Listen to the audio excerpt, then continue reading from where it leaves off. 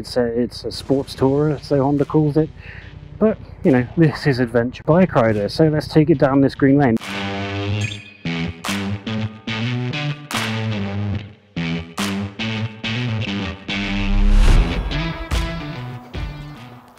Hello and welcome to this ABR first ride review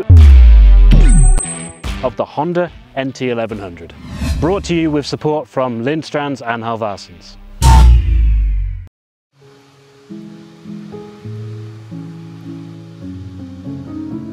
It's safe to say the Honda NT1100 isn't exactly the most exciting bike to look at.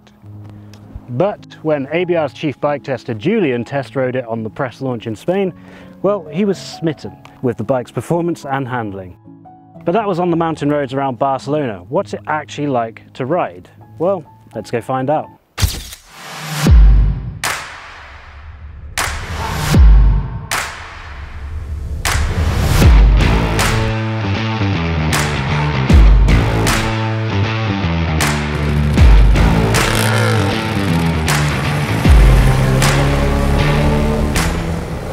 Okay, so we're off on the NT1100 and I don't know if you can see around me, but it's beautiful blue skies all around me um, and weather is saying about 34 degrees, so it is sweltering. But enough about me and the weather and more about this beautiful bike that I'm riding.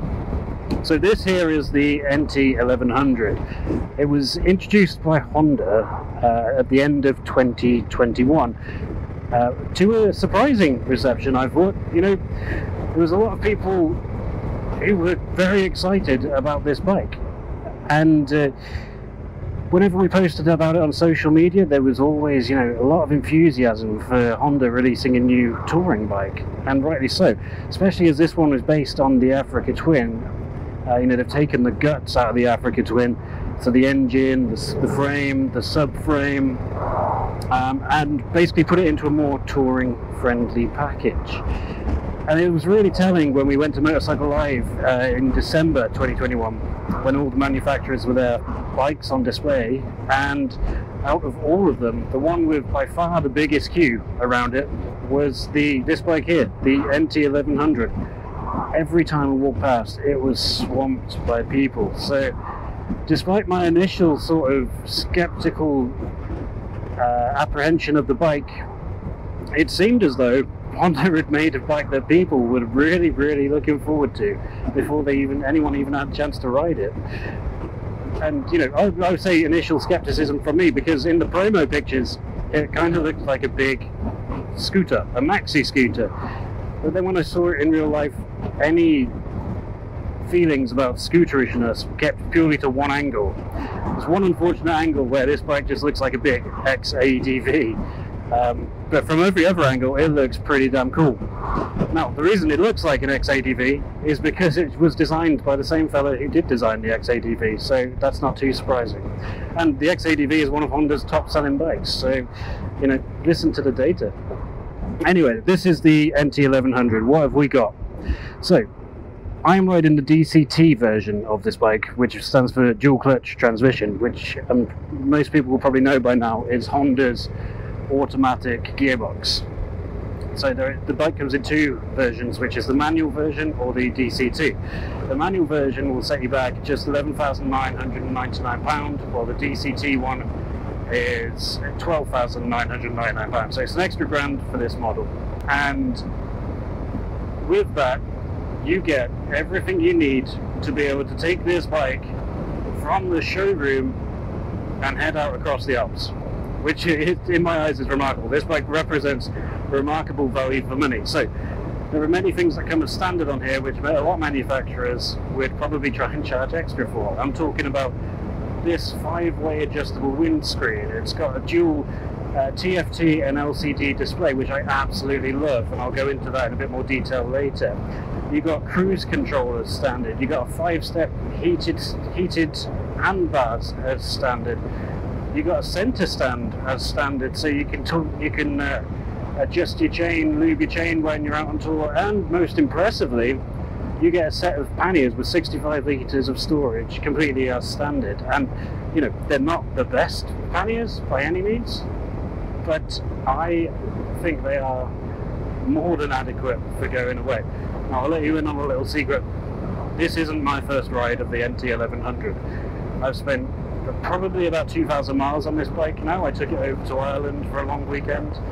Uh, so when I say that the panniers, the luggage is more than suitable for long distance touring, I wouldn't say the Highlands particularly long distance, but when I say the luggage is good for taking away on tour, it comes from a knowledge of, of having done it. I would add the top box extra, which comes uh, as an add-on. So you, you, the, the NT1100 comes with three separate uh, packages which you can add on, all of which uh, differing prices. The base one adds just the top box. Then there's the middle one, which is touring more comfortable seats, and then there's the, the combination of the two. I would say the top box is a definitely worthwhile add-on because it will also make pillion a pillion far more comfortable on the back. The NT1100, as I said before, is built from the guts of the Africa Twin. And when I say the guts, I mean they've taken the engine and kept that wonderfully characteristic twin cylinder engine that is in, found in the Africa Twin. They've tweaked it slightly to make it a bit smoother and a bit more uh, road going friendly, I think is the term they used. Um, and they've kept the same really nicely well balanced and well designed frame and subframe that comes with the Africa Twin. There have been modifications in places, like it's got a new exhaust end can, um, lower suspension, less suspension travel, and a far lower seat height. So that probably that brings me to my first point about the NT1100 is just how comfortable and manageable this bike feels when you're pushing it around uh, car parks, driveways, traffic. The seat height is 820 millimeters, and while it may be uh, 138 kilograms uh, or 148 kilograms for the DCT model, I don't think it ever truly feels like a bike that, that's that heavy. The weight is all quite low down. You can two. Uh, I'm six foot two, and I can put two feet firmly on the floor. I can even stand up with my feet on the floor. Um, with the bike just resting underneath me and it, it makes for a very very relaxed and non-threatening non-intimidating riding experience. In terms of the ergonomics once you're on the bike the uh, the first thing you'll notice is that the seat itself is very very well cushioned. You know they do offer a comfort seat but I'm not sure you really need it. Having spent multiple days in the saddle on this bike I, I would argue that this standard seat is cushioned enough for, for all day comfort. And it's a very nice sort of scoop that your bum just sort of fits into. And then working your way to the feet, bum, hand sort of triangle, the ergonomics are very, very nice. The leg bend is a bit more acute than we find on the Africa Twin, but I've never found any problems with it. You know, in a three-day tour where I was riding most of the day every day, never once did I feel the need to stretch out my legs. The uh, the handlebar position is nice, though it's a little bit more sporty than on the Africa Twin. I think Honda said they've sort of pivoted the seating position forward by about 10 degrees uh, to give it a more engaging and more road biased stance. In all reality, you know, while it does make you feel a bit more engaged with the bike, I do prefer the upright seating position on the Africa Twin. I think if I owned this bike, one of the first things I would do would be put on some bar raisers, but that's being very, very picky. It's not a necessity by any stretch of the imagination. Often you'll see touring bikes, long distance touring bikes fitted with smoother, you know, four cylinder, three cylinder engines which just offer a perfectly smooth, glorious ride. The engine on the NT1100 is. Oh, hello, biker. The engine on the NT1100 feels very engaging. You feel every sort of bubble of of the engine through the foot pegs and through the hand hand grips. And uh, when I first rode the bike, I had some concerns that that might translate to discomfort or fatigue throughout the day when you're riding at motorway speeds. The reality is, yes, you do feel vibrations when you're riding at motorway speeds, particularly through the foot pegs. But do you know what? Then they weren't enough to put me off, and I never once got a numbness in my hands or feet. uh, because I think the vibration frequency isn't as high as it as it would be to need to be to cause those problems. Perhaps the main thing that uh, I noticed about the twin engine when going at motorway speeds was just that there's a, a bit of an incessant drone caused by the sound of it which is lovely when you're pottering around town and pootling along nice A roads and country roads like this, and you accelerate out of the corner and you hear it. But when you're stuck at 70 and it's the only thing you can hear, it does get a bit bit drone-like. But you know, good pair of earbuds and you'll be alright. It's on roads like this where the NT1100 is an absolute delight. So with the 17 inch front and back wheel and a slightly redesigned uh, steering geometry, the NT1100 is a far more sporty bike than the Africa Twin.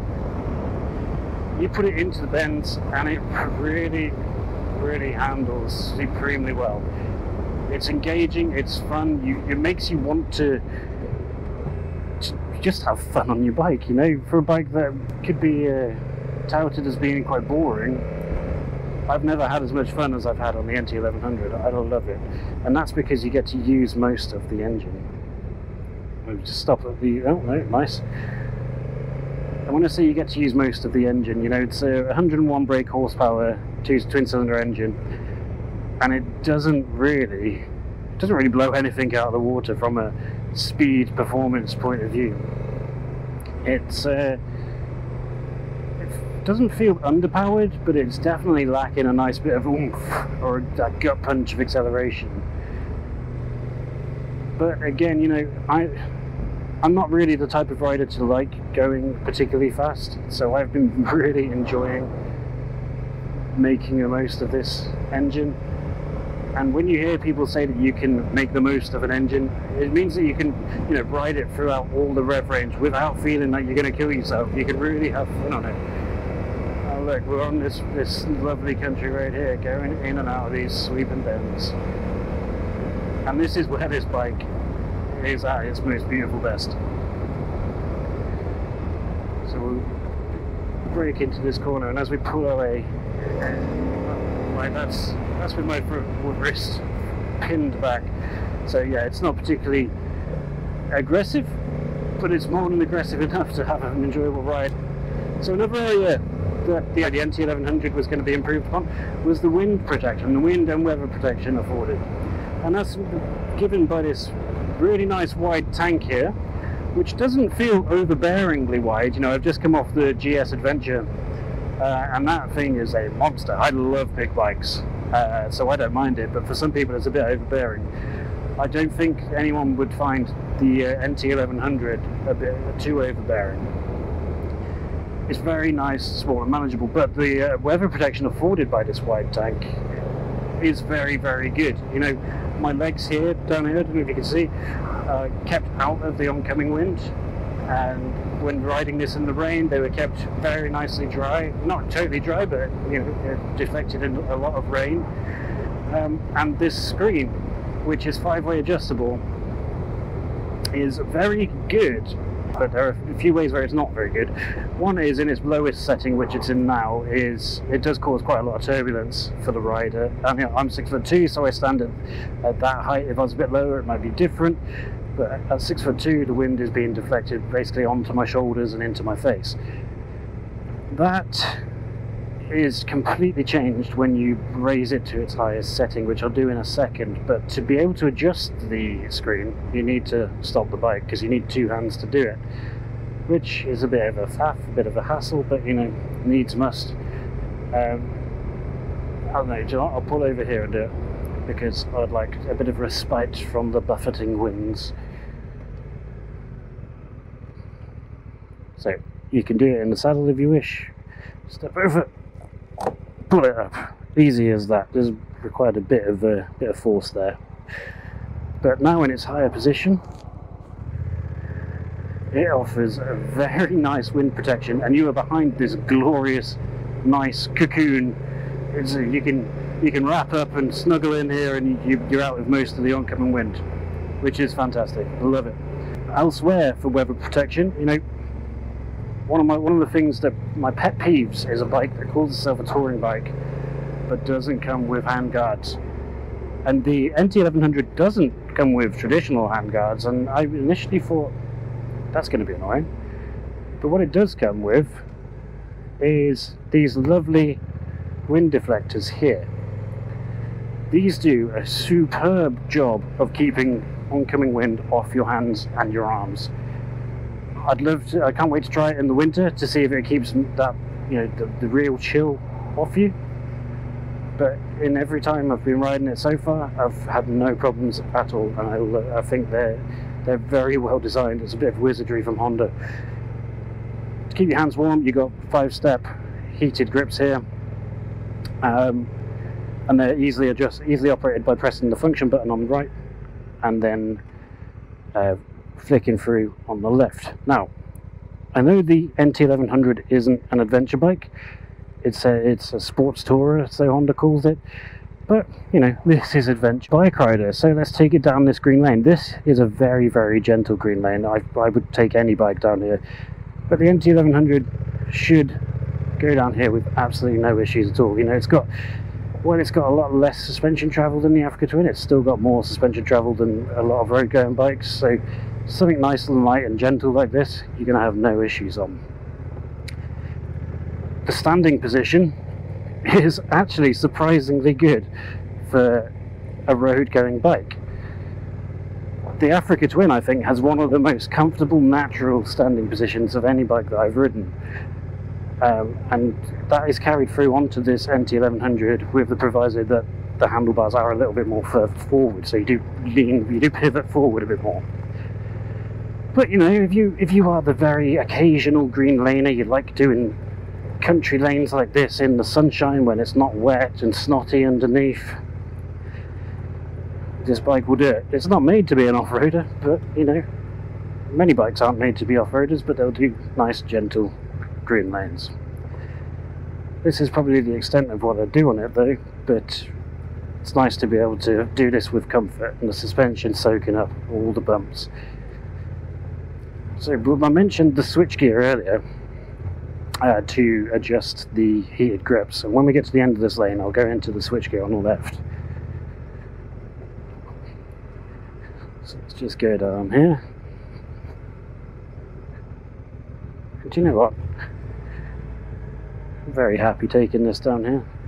Feels nice and lovely and well balanced. The DCT gives it a nice easy riding experience like I said, for a lot of gentle green lanes, you don't really need anything more. There's a nice deer there. Nice little muntjac deer. The joys of green laning in the UK, eh? One area where you might not want to take this green laning is the fact that it doesn't have much uh, protection. So if you do drop it, yikes. Right, so we'll take a left out of here and we'll talk about the switchgear. So as I mentioned, the heated grips are operated by a switch gear, a switch on your right hand side, which is your function button. You press that and you cycle between uh, heated grips, headlights, whether you have them automatic or not, uh, and sound when you've got your headset connected. Once you've done that, it's a simple case of flicking up and down on the button on the left. Now, the left-hand switch gear is where the bikes have drawn a lot of criticism, and I said bikes because the Africa Twin has the same switchgear as the NT1100. Now, if you count up all these buttons on the left hand side in total, you get, I think it's 15 plus the two manual uh, DCT up and down controls. 15 buttons on a switchgear is a lot of buttons, and it rightly got a lot of criticism from the press and owners when they first stepped on the bike. Because when you do first step on the bike, it's confusing, it's overwhelming, you don't know which one to press. But hear me out. After maybe a week of riding this bike, this switchgear will be second nature to you. You won't be confused by it. You won't have the shock-inducing, terror-inducing moment where you're fumbling around trying to decide which one to press. You know, I remember someone cut me up uh, and I was trying to furiously find the horn, and all I was doing was pressing the indicator and the starboard and um, whatever. Um, but now it's easy. It's very easy to use and it really makes sense when you consider what it's used for. This whole switchgear here is required if you want this beautiful dash here and this dash setup is one of the best I've come across on a bike because I I think Apple CarPlay is perfect for touring. Should mention now the Honda NT1100 and the Africa Twin come with this dual beautiful TFT screen and the bottom is a smaller LCD dash which shows minimal but important information like speed, total mileage and what gear you're in.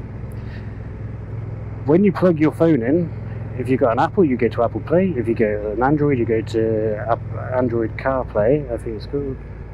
Android Auto, sorry, Apple CarPlay is the other and then you can interact with your phone through the switchgear on the left hand side. You also need a headset to be able to, to do this.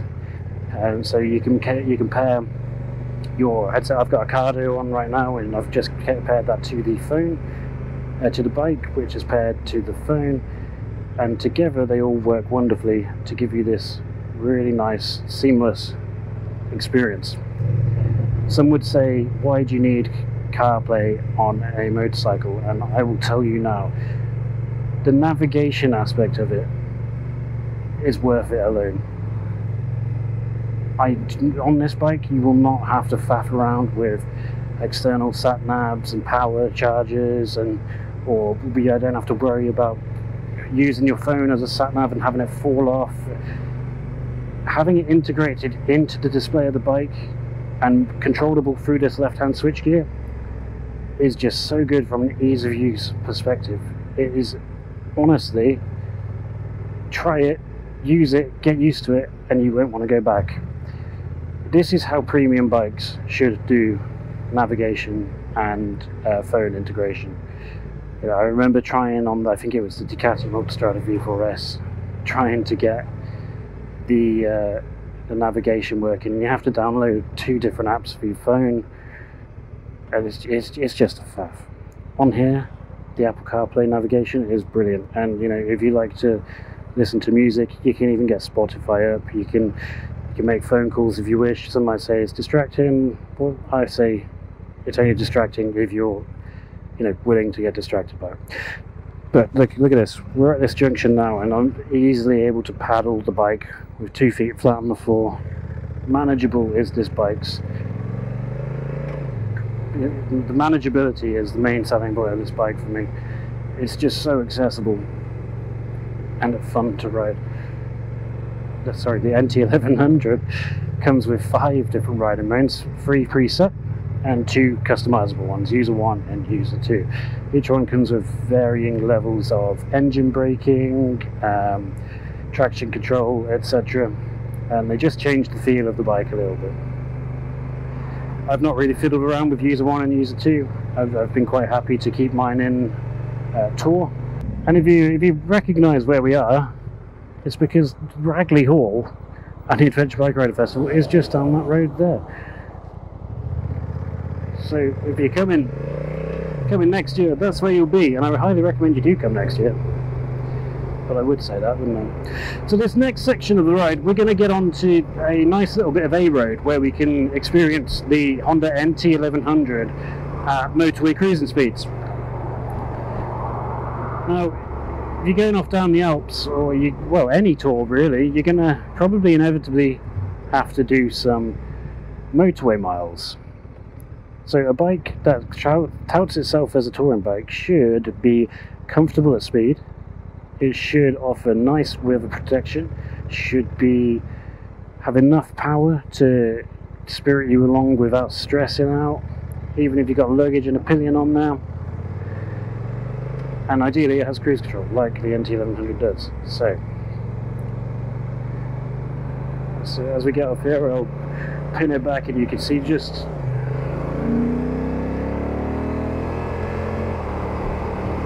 it, it does move a little bit. It, it gives a nice growl when you do get going.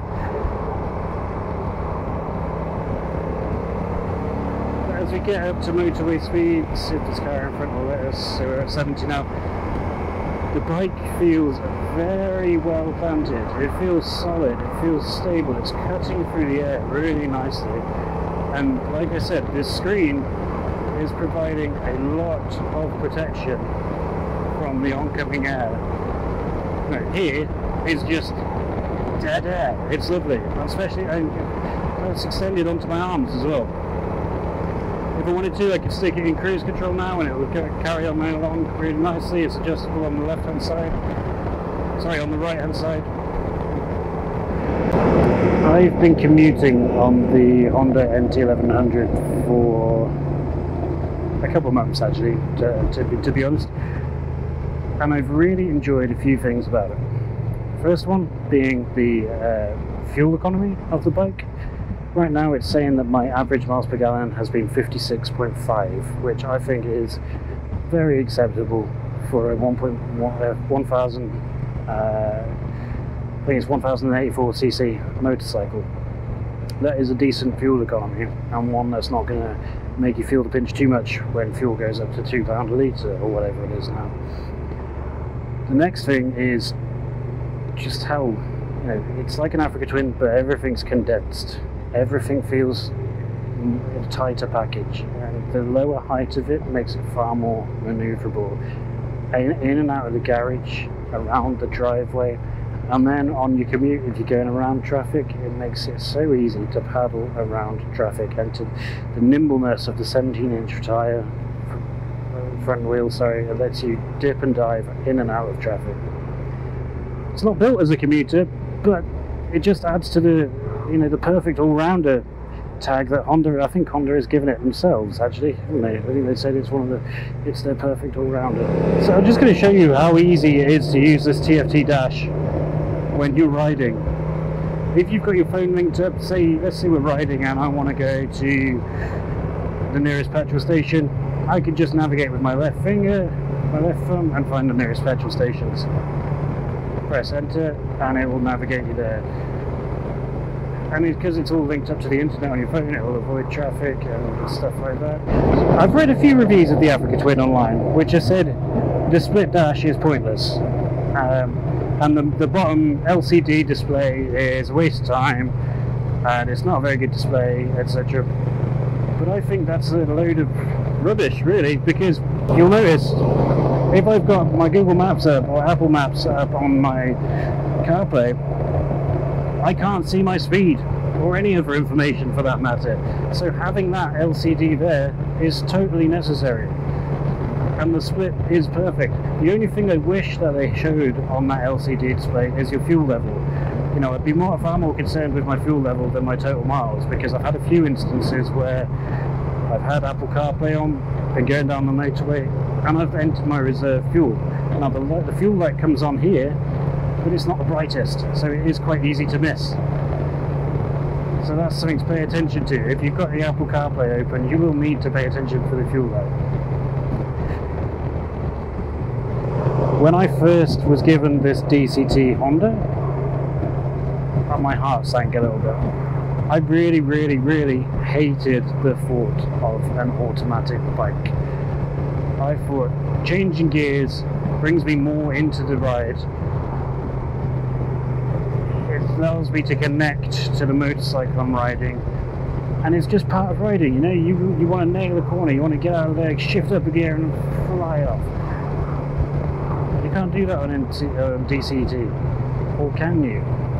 One thing I've noticed about DCT, and I'll be honest, after a few months of riding this, I am a complete convert to DCT. I love it. I, I think it's excellent because you, you change how you ride to suit the system. And when you pick up the the finer details of DCT and you change your riding to adjust to it, you know how to make the bike change down in gear, you know how to make it change up in gear, you know how to ride at slow speed. You know, where one often one criticism of DCT often is that there's no clutch, so you can't do slow speed maneuvers you simply just replace that clutch for the back brake and then slow speed maneuvers become just as easy with a DCT bike. I will say on the NT1100, you know, I spend most of my time in the sport setting because the drive setting is probably only good for really relaxed riding. Or when you're on a motorway sit back at 70 and do nothing else. It changes up gear way too fast. It, it you know for instance I'll be approaching a roundabout and I'll be in fifth gear. I'll go round the roundabout and it'll shift down to fourth. Both gears are way too fast to be going down round roundabout in 30 miles an hour. Sport mode that changes everything. The gearing on sport mode is pretty much perfect it changes when you want it to. You can make it change up and down by being a bit more aggressive with the throttle or easing off the throttle putting the brake on. And if you find yourself that you really wanted to ride manually you can use the flippers on the left hand side to go down gear up a gear. Does feel a bit artificial as opposed to using a, gear shift on your left, but it's there if you need it. Also, there's not forgetting the fact that DCT opens up riding to a whole new world of people. Hello, friend. So, look, we'll go. We're in DCT now. We've got some slow speed maneuvers coming up. I'll see how long I can keep it going behind this car without slipping the clutch in. See, you can by using the back brake keep it steady. Now, hill hold control would be nice, wouldn't it? But it doesn't come with that. It does come with a nice handbrake if you've got the DCT model. Don't ride off with that one, otherwise you'll break it. I mentioned the suspension earlier. Um, mainly how it's been, it's got less suspension travel than on the Africa Twin, but it has more than most road-only motorcycles you do, and I also mentioned that it'd be nice to have better suspension because you do feel it getting a bit out of shape when you're really putting it through its paces in twisties. It's not enough to, to scare me, and I could just adjust my riding to it. But you do feel it wobbling a little bit as you're going around bends. The, the obvious answer is to not push it so hard and this isn't a bike you want to push hard anyway. I won't get too close to this hay, I don't want hay bales falling on me. Let's go around this bike.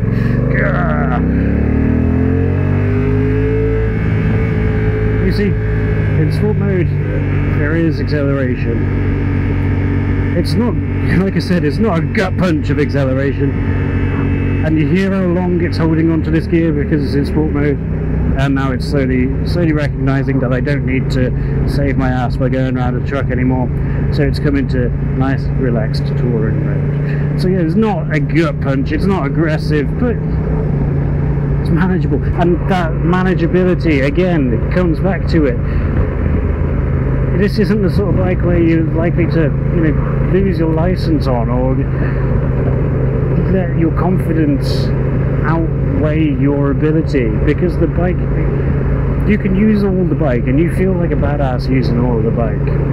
Okay if I could improve one area it would be the angle of the bike where it looks like an X-ADV I don't want to ride a big X-ADV I want to ride a cool badass touring bike.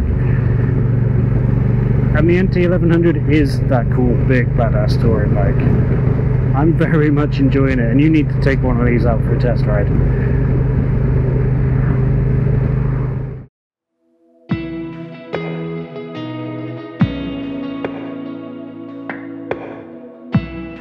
Honda says that the NT1100 is everything you need in one motorcycle. Now there's an old saying that you can be a jack of all trades and a master of none, but people often forget the second part of that saying, which is sometimes it's better to be a jack of all trades than a master of one.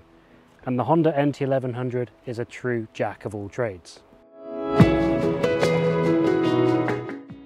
Whether I'm rolling the bike out of my garage on the weekly commute or spiriting down A and B roads on the weekend ride, or going further afield on a longer distance tour, the Honda NT1100 will take it all in its stride. And the fact that you can get everything out of the engine just makes it all more enjoyable. Now it's this capability and manageability that makes the Honda NT1100 one of the most enjoyable bikes I've ridden in the past 10 years.